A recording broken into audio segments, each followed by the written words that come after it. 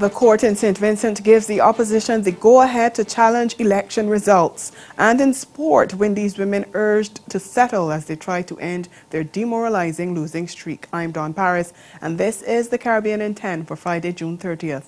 I'll be back with the details after the break.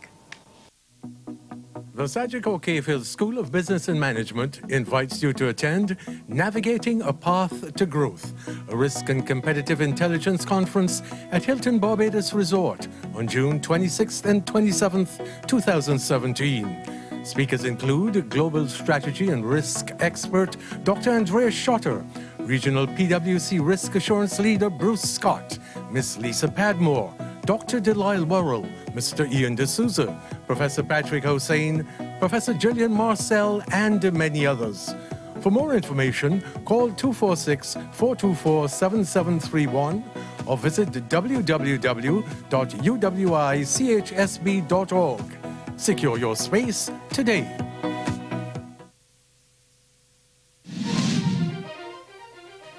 The Jonkonu's fife the rhythm of the drum, the strum of the pan, the lilt of the voice from island to mainland, all pigments and tones, old and young, his and hers, all we are one. You, we, me. This is Yui TV.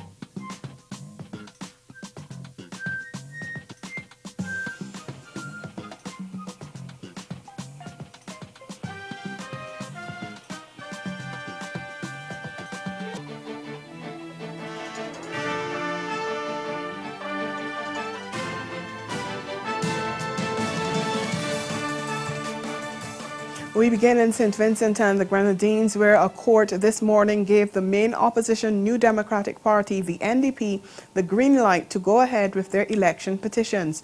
The NDP has won on all counts on the election matters before the court. Justice Esco Henry ruled that the motion by the government to strike out the petitions is an abuse of the process and the petitions will stand. The NDP is challenging the results of the December 9, 2015 general elections in the Central Leeward and North Windward constituencies. The party is asking the court to declare it the winner of the elections in the contested districts or order fresh elections there. A previous judge, Justice Brian Cottle, had initially thrown out the petitions as improperly filed, but the NDP appealed that decision and the Court of, Appealed, of Appeal reinstated the petition. Opposition leader Dr. Godwin Friday spoke to reporters this morning after leaving the court. It feels like a heavy weight has been lifted off the nation because we've waited so long to say what we want is for this decision, the, the, the petitions to be heard in their merits.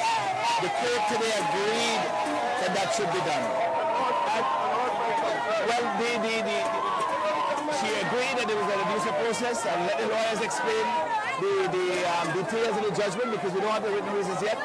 But the ultimate decision is that their motion to strike out the petition so that it doesn't go forward is dismissed. And the court ordered costs to the side of the, um, our lawyers. So we are overjoyed for the people of St. Vincent and the Grenadines. And what it says is that we in the Democratic Party, we place our faith in our legal team, in the justice of our cause, in the support of our people, and in the justice system. Former opposition leader Arnim Eustace says it was a frustrating process, but he's happy with the court ruling move forward with our petition and present our evidence before the court. And you think we're happy about that? Let us decide our lawyers will continue their work and we get ready for the petition. If the election is called, then we'll have to deal with it. Right, right, right. Thank you. Amen. Very good. A year and a half now. Waiting and frustration know where we're going now. Trinidad and Tobago's Prime Minister Dr. Keith Rowley says he intends to bring the issue of self-governance for Tobago to the Parliament by next year. Speaking at yesterday's post-cabinet media briefing, he said he believes Tobago has earned the right to discussion on self-governance. Rowley said while there is a document on the matter, Cabinet is yet to finalize a position, and there also has to be discussions with the Tobago House of Assembly and the rest of the sister isle.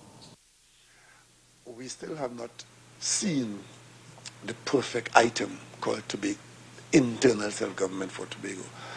But we know that we've made some significant progress, and it is my intention as head of this cabinet to take what has come out of Tobago through the cabinet and into the parliament, straight into a joint select committee arrangement, where the entire House of Parliament will determine, um, with proper advocacy, of course, what we will agree on in the end, and hopefully in 2018, the government, the, the Parliament of Trinidad and Tobago would um, rise to the occasion of agreeing to some great measure, if not totally, with the people of Tobago as to what level of autonomy Tobago would finally receive and continue to develop.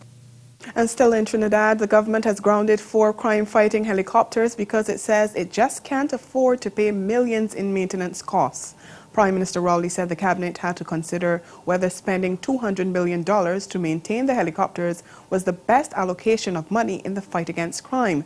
And the conclusion was that the government can't afford the payment at this time given the current economic climate. Addressing concerns about the void that will be left Rowley said there are other helicopters in the country that can be used. He said the sale of the helicopters is not off the table, but it's not under consideration at this time. In 2010, the government signed a 348 million US dollar contract for an aircraft and support package.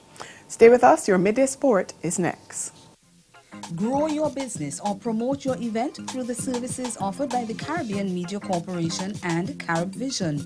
Our distribution provides a platform on cable, terrestrial television, and websites. We cover carnivals and events from across the region.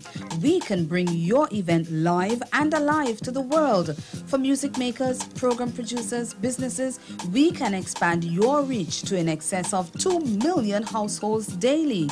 Our other services include news updates to enhance your media products, studio space for program and development. We can facilitate the launch of new products and services and training. Contact us and we will help you unleash your creative ability, develop products and services, and provide the medium to watch them grow. Contact Loretta Skeet at cmccaribbean.com or call her 1 246 467 1044 or 1 246 253 3889. Call and book your carnival or event today.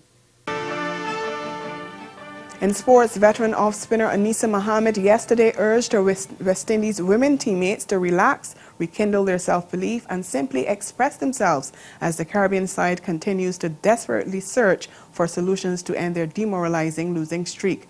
Speaking in the wake of their latest defeat at the ongoing ICC Women's World Cup, which was a seven-wicket loss to India, Mohammed said while the side comprised of world-class players, self-confidence is lacking. Need to, to relax and keep believing in ourselves um, try to, we need to find a way somehow to relax and recuperate and keep believing that we are great players. Um, I keep saying to the team, people say that we are a great T20 team, but this is the same team that helped us qualify automatically for this World Cup. So we can win uh, 50 overs game as well. So we just need to keep believing ourselves and go back to what worked for us in past three, four years and come out in this World Cup. And it's time that we, we pull everything together. And that's Caribbean Newsline. Join us again at 6.30 for Caribbean. That's Caribbean in 10, sorry. Join us again at 6.30 for Caribbean Newsline. Good afternoon.